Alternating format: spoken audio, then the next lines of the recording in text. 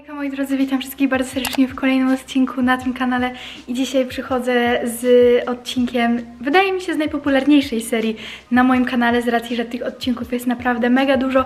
Każdy z tych odcinków bardzo polubiliście, ma dużo wyświetleń, e, dobre, pozytywne komentarze, także stwierdziłam, że nie przestaję nagrywać tej serii e, i dzisiaj przychodzę do Was z kolejnym odcinkiem spakowania walizki.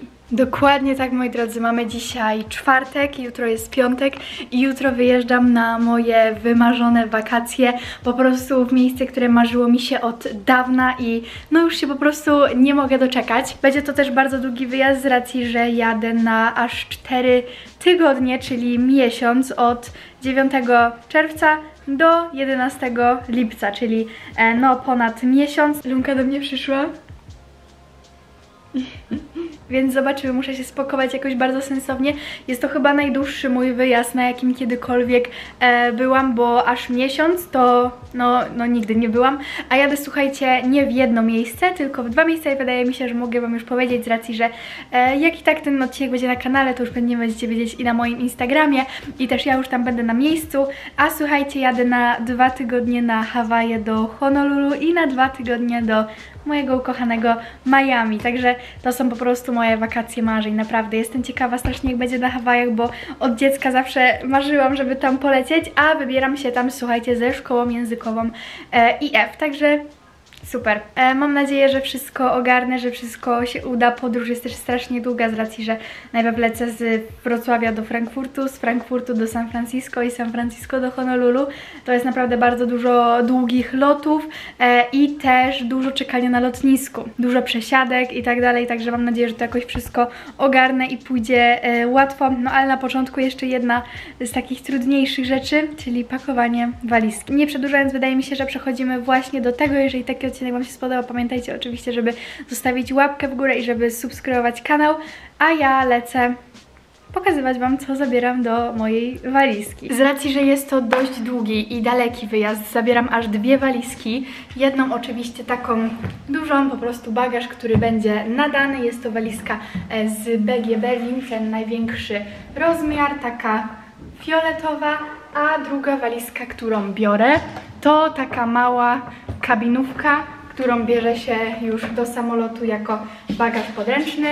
E, taka niebieska, malutka z Nautiki. Także mam nadzieję, że się pomieszczę w te wszystkie walizki. Staram się nie brać też jakoś nadmiaru rzeczy, tak jak zawsze e, właśnie ja biorę nadmiar rzeczy, bo jeżeli oglądaliście któreś z moich pakowań walizki, to dobrze wiecie, że ja się pakuję tak, że po prostu wszystkiego mam na zapas. Ja lubię mieć zawsze wszystko ze sobą, także tutaj na pewno pojawią się oczywiście jakieś zbędne komentarze typu jedziesz na miesiąc zabierasz rzeczy, jakbyś się tam przeprowadzała. E, no ale tak właśnie się pakuję, ja wolę mieć więcej niż e, mniej, jeśli chodzi o wyjazdy, ponieważ nie wiadomo nigdy co może się przytrafić, co się może przydać, a ja właśnie lubię być ubezpieczona na każdą e, możliwość. Także co, otwieramy walizę i będziemy pakować już pierwsze rzeczy. E, ta walizka jest też fajna, bo ma od razu wbudowaną tutaj kłódkę. Teraz coraz więcej walizek tak ma, ale to jest naprawdę bardzo fajny plus. Ok, zaczniemy od tej dużej walizki. Do tej małej wydaje mi się, że będę chować buty, e, ręczniki, ewentualnie bluzy. Jak widzicie w tle właśnie są już tutaj e, poprzygotowywane rzeczy. Ja jeszcze nie wiem co z tych rzeczy biorę, co nie biorę. Ogólnie e, troszkę jestem jeszcze nieogarnięta, strasznie się stresuję. Pierwszy raz mam tak, że się stresuję e, wyjazdem aż tak bardzo i pakowaniem ogólnie walizki. Luna ogólnie uwielbia walizki i jak widać tutaj już siedzi. Dobra, Obniżymy sobie troszkę kadr. Klasycznie teraz będzie widać walizkę, a nie mnie, bo to jest jednak nasz główny dzisiejszy przedmiot. Lunka chce się bawić, dlatego... Chodź Lunka, wypuszczę Cię na dwór. Ale dobra, lecimy z tym. Zaczniemy oczywiście od krótkich spodenek i już jakichś spódniczek, wszystko co na krótkie, e, jeśli chodzi o dół, bo tego się przyda tak naprawdę najwięcej. W Miami i w Honolulu teraz jest e, bardzo wysokie temperatury, także wydaje mi się, że właśnie krótkie rzeczy będą tutaj najlepsze, także let's go. Pierwsza rzecz, którą biorę to taka biała spódniczka z Berszki rozmiar 32. Następnie mamy takie troszkę dłuższe shorty jeansowe ze Stradivariusa, również rozmiar 32. Takie krótkie jeansowe spodenki z Berszki rozmiar 32. Takie troszkę dłuższe, ale też nie aż tak długie jak te wcześniejsze i zawinięte, a nie postrzępione ze Stradivariusa rozmiar 34. Czarne Shorty też takie e, tutaj postrzępione na końcach. E, rozmiar 32 Stradivarius. Takie bajkery z Nike rozmiar XS. Taka mini spódniczka z Sinseya rozmiar XXS. Spódniczka tenisowa z Alo Yoga rozmiar XS. Takie zwykłe materiałowe shorty, takie trochę krótsze niż bikery e, z Pull&Beara rozmiar XS. Do tego mam jeszcze top, ale topy będą później. Takie materiałowe, e, przewiewne dość spodenki z Berszki rozmiar S. I ostatnie to z Pinka, takie dresowe spodenki, ale widzę tutaj, że jest jakaś plama. Postaram się jeszcze raz je wyprać, mam nadzieję, że się dopiorą, także wrzucam je na razie póki co jeszcze raz do pralki no i mam nadzieję, że się wypiorą, bo to są jedne z moich ulubionych takich shortów, jeśli chodzi o e, wakacyjne, krótkie spodenki. Ale to by było wszystko, teraz muszę to jakoś ładnie, sensownie ułożyć, żeby mi się wszystko pomieściło. Ok, teraz przechodzimy do długich spodni i póki co przygotowałam trzy pary długich spodni, ale nie wiem, czy to nie będzie za dużo, bo tam teraz jest naprawdę ciepło. Muszę jeszcze wyprasować, także zaraz wracam.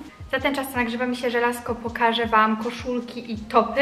Zaczniemy od bluzek po prostu na krótki rękawek. Pierwsza to taka koszulka ACDC, ona jest chyba z H&M, nie wiem, bo metka jest ucięta. Taka bluzka z napisem Make Sense. Z tyłu mamy takiego pastelowego smoka z berszki. Kolorowa koszulka, kolorowa koszulka z Nirwany z berszki. Koszulka z Abercrombie Fitch, taka z Miami Heat. Biała koszulka z Pull&Beara z Rolling Stonesów. I ostatnia koszulka to koszulka z berszki, taka oversize'owa z tupakiem. Teraz czas na topy. Zwykły czarny top na ramionczkach z Pull&Beara. Taki niebieski top z Hollistera. Różowy topik z H&M. Taki zielony z wiązaniami po boku z Zary. Zwykły biały, a tak właściwie taki bardziej ekri. Nie wiem nawet jak to nazwać, taki troszkę bardziej brudny biały e, z H&M. Body takie z różnymi wzorami z Berszki taki dość krótki top z Shein chyba. Pomarańczowy top z takim dużym dekoltem z Berszki. Również podobny top z Pull&Beara niebieski. Jeden z moich jeden, jedna z moich ulubionych takich koszulek krótkich z Pull&Beara. Taki zwykły topik. Miałam jeszcze taki biały, taki super, to też była jedna z moich ulubionych koszulek, ale zafarbowała mi się od loda i nie chcę puścić, także nie wiem, może przed następnym wyjazdem uda mi się doprać. Taka koszulka również z dekoltem czarna z Zary. Z H&M taka koszulka z guzikami i okrągłym dekoltem. I ostatnia to taka koszulka z napisem Pacific by z Pull&Beara. Tak, z Pull&Beara. Ok, jeśli chodzi o spodnie, to biorę jedne takie e, jeansy z dziurami na kolanach i długimi nogawkami. One są z Pull&Beara. I moja mama powiedziała mi, że jeżeli zwinę sobie spodnie w ten sposób, to mi się aż tak nie pogniotą. Także skorzystam z tego patenciku, mam nadzieję, że to prawda. Ok, i pakuję te spodnie tu. Kolejne to takie czarne, proszę bardzo, z Stradivariusa. Może któreś wyciągnę, jeżeli będzie za ciężka ta waliza, ale liczę na to, że jakoś to wszystko się upchnie. I ostatnie to takie spodnie beżowe, również ze Stradivariusa, długie, cargo.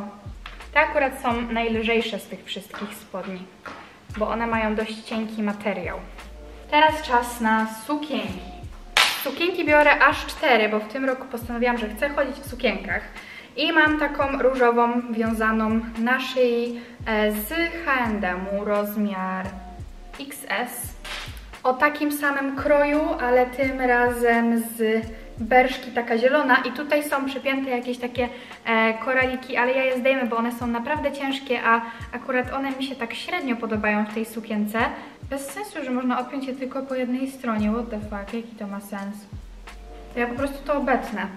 E, kolejna taka czerwona sukienka z Misguided, uwielbiam ją. I ostatnia to taka biała z za full.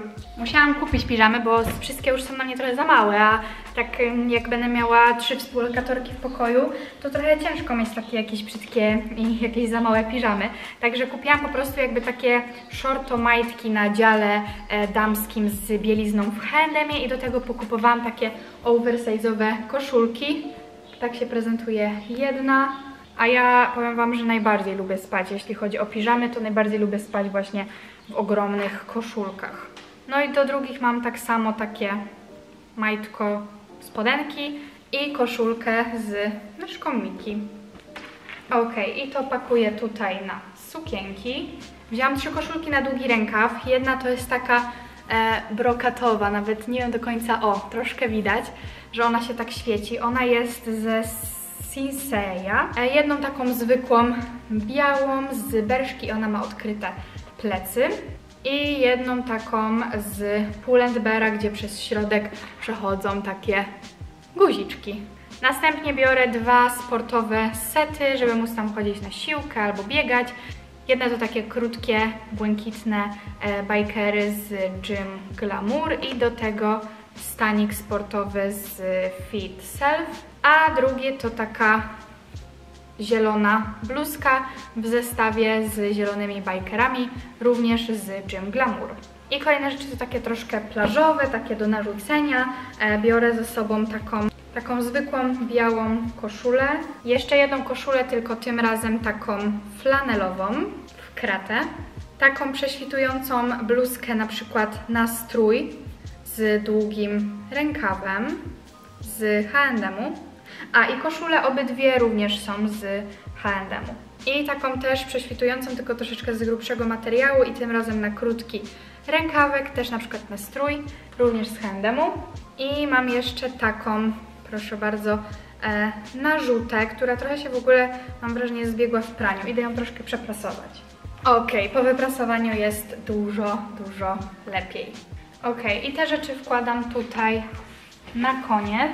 Na to sportowe i tutaj z boku jeszcze bluzki na długi rękaw. Kilka takich dodatków, które już przygotowałam, to są e, jeden pasek, wersja srebrna, drugi taki sam e, wersja złota, bo w zależności, ja lubię ogólnie dopasowywać paski do torebek, do biżuterii, e, także biorę i jeden i drugi, z racji, że mogła sobie po prostu ładnie je fitować. E, dodatkowo do tego biorę taki rybacki kapelusz, on jest z H&M-u i taką białą czapę z New Era. Próbowałam znaleźć moją czarną, ale nie wiem, czy ją zgubiłam, czy może została w samochodzie moich rodziców, które jest w ogóle na lotnisku, bo moi rodzice są teraz za granicą e, i nie wiem, gdzie ona jest, także biorę wersję białą, trudno. I teraz pakuję stroje kąpielowe. Pierwszy to jest taki e, żółty, tak wygląda góra, tak wygląda dół. On jest z H&M-u, ale był chyba kupiony dwa lata temu, tak mi się wydaje i wtedy był na mnie za duży, a teraz pasuje. Mm, Następnie mamy taki biały, tak wygląda dół, tak wygląda góra z takim supełkiem, zwykły biały strój, on jest z Zaful. Taki biały w łatki, tak wygląda trochę jak dalmatyńczyk, tak wygląda góra, tak wygląda dół i on również jest z Zaful. Następnie taki różowy, o proszę bardzo, taki jakby pasek bandażowy e, i dół wygląda tak. Również z Zaful, jak prawie wszystkie moje stroje.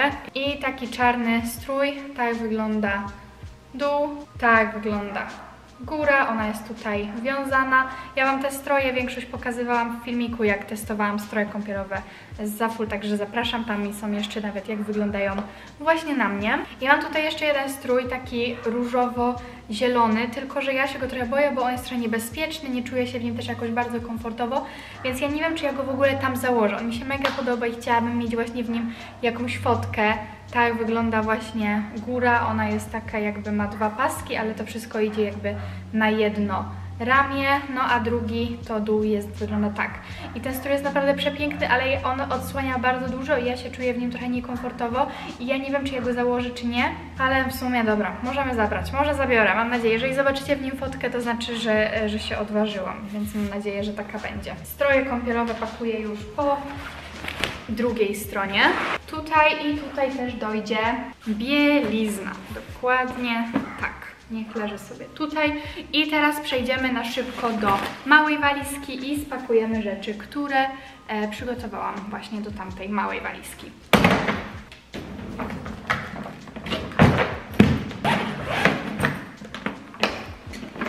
Zaczniemy od butów i pierwsze buty, które biorę to zwykłe, klasyczne Air Force'y, bo one pasują do wszystkiego, zarówno do spodenek, jak i do sukienek, jak i do spódniczek, także jestem pewna, że to akurat będą buty, które będę nosiła najczęściej. Kolejne buty, które pakuję to te i to są również moje jedne z ulubionych butów, po prostu kocham je. Oczywiście biorę klapeczki, je schowam do takiego troszkę mniejszego worka. I teraz tutaj trafiają ręczniki. Biorę dwa ręczniki do ciała, taki szary, większy i biały, mniejszy i oczywiście ręcznik plażowy. Nie wiem ile ta walizka waży, ona może ważyć maksymalnie 8 kg, ale schowam tutaj też chyba, uwaga Lunka przesuń się, torbę plażową, taką, kupiłam ją w H&M i wydaje mi się, że ona idealnie tutaj właśnie wejdzie. Także zapinamy. I tutaj też schowam taką malutką kosmetyczkę, w której mam farbę do włosów, z racji, że ja mam teraz pofarbowane włosy na e, swój kolor, z racji, że miałam blond, ale wróciłam do swojego i teraz mam takie. E, będę się farbować do momentu, aż mi trochę odrosną, trochę ten e, też e, utlenia, czy w ogóle wszystko, co miałam nałożone mm, podczas blondu się wypłucze całkowicie. Muszę sprawdzić, ile ta walizka waży i ile mogę jeszcze do niej dołożyć, także dajcie mi chwilkę. 56, 2 minus 49, tyle waży ta walizka, czyli 7,2. Czyli mam jeszcze jakieś niecały kilogram, więc myślę, że coś tam jeszcze na pewno dorzucę, żeby e, wykorzystać to miejsce w 100%. I zaraz się zastanowię, co to mogłoby być, muszę troszkę pomyśleć. Dorzucę tam jeszcze taką torebkę, którą biorę z Local Heroes i oprócz tego, oprócz tej torebki biorę jeszcze nerkę, po którą muszę pojechać z racji, że pożyczyła ją ode mnie Karina i nie wiem jak to się stało, ale nie oddała mi koniec końców, także zaraz będę do niej jechać po tą nerkę, bo jest mi naprawdę bardzo potrzebna, bo mogę tam jeszcze ewentualnie spakować Uno, bo ono też troszkę e, waży. Tak, Uno, Uno sznurek od szlafroka do robienia fal na włosach, bo ja pokazywałam Wam dużo razy w ten sposób, ale Luna coś mi nie daje nawet spakować tego sznurka. Luna, uspokój się. Balsam do ciała, krem z filtrem, taką tarkę do stóp, żeby mieć ładne stopy tam. Ok, kochani, wróciłam, bierzemy małą walizę, dokładamy do niej nerkę, hop, nerka jest, i tutaj jeszcze w tą kieszonkę wpakowuję biżuterię, którą mam. E, taką biżuterię jakby na włosy do robienia warkoczyków. Gumki, recepturki, e, naklejki takie na cycki, żeby na przykład nie, prześwitywała, nie prześwitywały przez koszulkę. I tutaj jeszcze w takim woreczku mam koraliki e, do robienia warkoczyków, żeby można było je tak przeplatać. I teraz zamykam tą walizę i sprawdzam, czy się wszystko zmieściło i czy jest idealnie, jeśli chodzi o kilogramy. Zabieram jeszcze taki e, pasek kółeczka, bo go też bardzo lubię. On może być fajny na jakąś imprezkę albo coś w tym stylu. Pakuję oczywiście perfumy. No i teraz włożę tutaj na tą stronę jeszcze bluzy. Taki głośnik mały, okulary przeciwsłoneczne, opaska i kabel e, zasilający do aparatu. Pierwsza bluza, którą pakuję to taka, którą w ogóle kupiłam specjalnie na ten wyjazd, więc na pewno nie może jej tutaj zabraknąć. Druga to taka zwykła szara bluza z berszki rozpinana. Kolejna to taka zwykła, klasyczna, czarna bluza ze Stasi, za to plecy ma napisane, na plecach ma napisane Peace and Love, także tą e, również biorę, bo czarny też do wszystkiego pasuje, także e, to będą takie bardzo uniwersalne bluzy. I ostatnia bluza to taka z drzewkiem bonsai. No i jeśli chodzi o tą część, to myślę, że mamy już praktycznie wszystko. No i teraz tak naprawdę zostały już kosmetyczki, które pokażę Wam już e, na górze, także let's go. Będę je pakować dopiero później, ale pokażę Wam wszystkie kosmetyki, które zabieram, a więc tutaj są e, różne pędzelki do brwi, do cieni, do różu, do rozświetlacza, do pudru, e, do bronzera i tak dalej, i tak dalej. Tutaj mamy podkład, SPF, e, dwa pudry, róż, rozświetlacz, zalotka, klej do rzęs, taśma do robienia kresek, e, penceta, tutaj mamy bronzer, e, taki podkład w pudrze, finisher, E, tutaj mamy trzy różne tusze, bo maluję trzema różnymi tuszami. Eyelinery, kredki, kredki do brwi. Tutaj też taki mm, mydełko, taki, taki jakby wosk do, do brwi. E, tutaj do zaczesywania ich. Tutaj mamy utrwalacz do brwi, kredka, e, taki jakby eyeliner do robienia piegów korektor, dwie paletki z racji, że Tom robię, żeby robić kolorowe kreski, bo teraz się zajawiłam właśnie w kolorowe makijaże, a tutaj mamy taką zwykłą e, na co dzień, taki brokat jakby z euforii na imprezki, no i rzęsy. Także to była cała kolorówka, oczywiście jeszcze gąbeczka, tutaj mam też e, szkła kontaktowe, które zabieram, a teraz pokażę Wam tą drugą kosmetyczkę. Druga kosmetyczka to są takie must have. Tutaj mam aparat na zęby, e, płyn taki AA, e, pianka do golenia, maszynka, szampon. Tutaj mam też odżywkę, ale ona się nie zmieściła, więc spakuję ją osobno. E, I tutaj mamy już naprawdę mega dużo rzeczy, jakieś kremy, patyczki e, do uszu, płatki kosmetyczne, płyn micelarny, płyn do soczewek, jakieś różne też e, natrądzik, lakier do paznokci. E, tutaj mamy gumki, jakąś oliwkę do włosów, inne jakieś też różne kremy i żele do mycia twarzy. Ja teraz idę się kąpać, mamy już 22, była jeszcze u mnie Martyna, obejrzyliśmy sobie kawałek filmu, byliśmy na spacerze z Luną, a teraz lecę się kąpać, bo muszę umyć głowę, muszę się cała ogolić. Wiecie jak to przed wyjazdem, no ogólnie po prostu muszę się poogarniać. E, także to już praktycznie wszystko, ale Wam pokażę jeszcze, co udało mi się zapakować. Chciałam Wam powiedzieć jeszcze, że to jest chyba jeden z najbardziej chaotycznych filmików, jeśli chodzi o pakowanie walizki Kinegram ever. Nie jest to może najlepsza wersja, e, mam nadzieję, że się nie zepsułam, tylko po prostu cały ten wyjazd póki co tak mnie stresuje i ogólnie ja się boję, że czegoś pozapominam, boję się, że się nie zmieszczę. No po prostu jeden, no najbardziej, najbardziej stresujący wyjazd na pewno w moim życiu. E, może też przez to, że na tak długo, może, że tak daleko, może, że tak długo byłam sama i teraz jeszcze będę dłużej sama.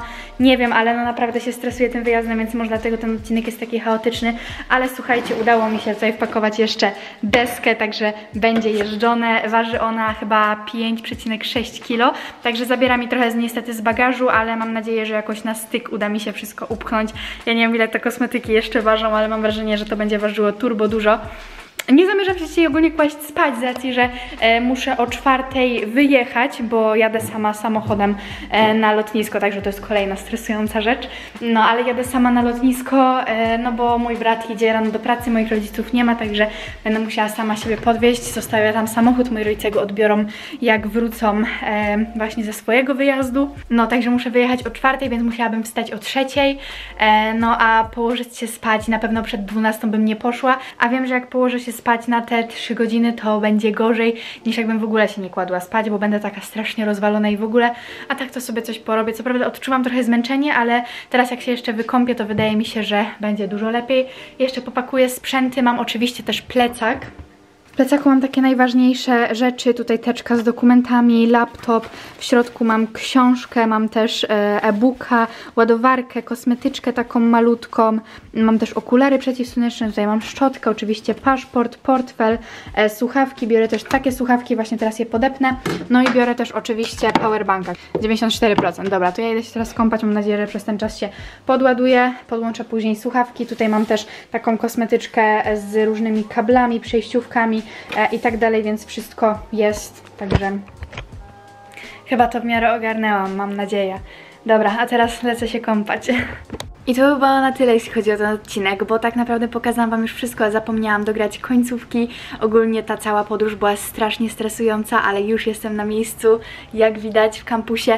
Spodziewajcie się wielu vlogów, bo naprawdę mam bardzo dużo już póki co nagranego materiału, a jestem tutaj dopiero niecałe dwa dni, także naprawdę się z tego wszystkiego cieszę i mam nadzieję, że postaram się Wam pokazać jak najwięcej z tego wyjazdu i postaram się, żeby to były najlepsze cztery tygodnie, zarówno dla mnie, jak i dla Was, żebyście mogli to wszystko przeżywać razem ze mną, całe emocje. Także czekajcie, bo już niedługo, za kilka dni zobaczycie pierwszy filmik z Hawaii, który wydaje mi się, że będzie super. Także see you i dziękuję bardzo za oglądanie. Widzimy się już niedługo. Do zobaczenia i cześć.